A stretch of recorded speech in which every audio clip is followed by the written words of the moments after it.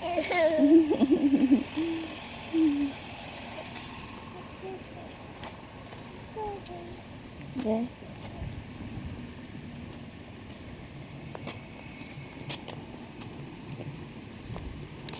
Đi đó đi xem cá heo nha. Dạ. Đi xem cá